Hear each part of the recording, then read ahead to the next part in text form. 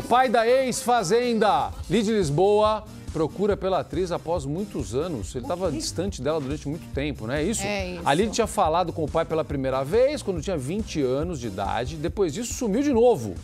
Aí apareceu agora, depois de 17 anos. É isso, Kaline? É isso, é isso mesmo. É uma bomba, viu, gente? Ah. Bomba pra esse sábado. Parece até um dramalhão de novela. Parece. Parece, né? Até os 20 anos, a Lídia Lisboa, que não conhecia o seu pai, né? Ela não conhecia. Em 2004, a mãe dela até procurou o ex pelas redes sociais, encontrou, colocou ele em contato com a filha.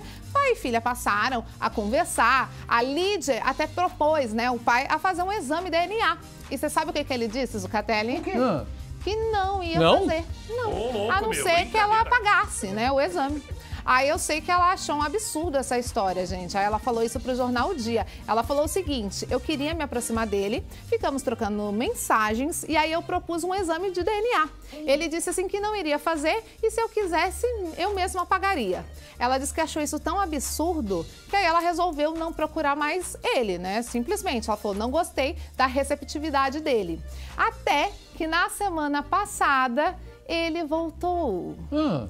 O pai da Lid, o Flávio Correia, ligou para ela. Isso após 17 anos do primeiro contato, ó. Nossa, gente.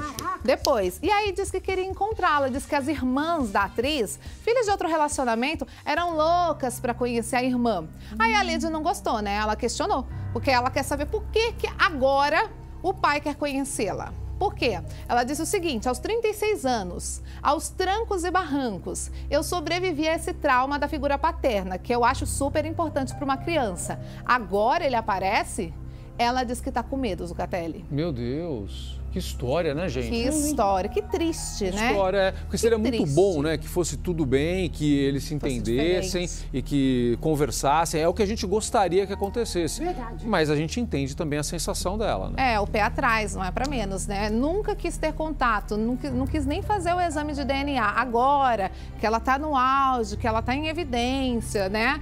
É super querida, ela se destacou na fazenda. Agora ele quer conversar com ela, agora ele quer conhecer. Ela tem toda a razão de estar com o pé atrás. Vou torcer, como sempre digo, para que eles se entendam e que, Claro, não, claro. e que seja tudo bem, que ele tenha boas intenções e que isso seja uma coisa boa e que ajude a resolver. Como ela bem falou, é um trauma dessa ausência paterna. Paterna. Então, tomara que tudo dê certo. Tô torcendo aqui. Um beijo para a Lid.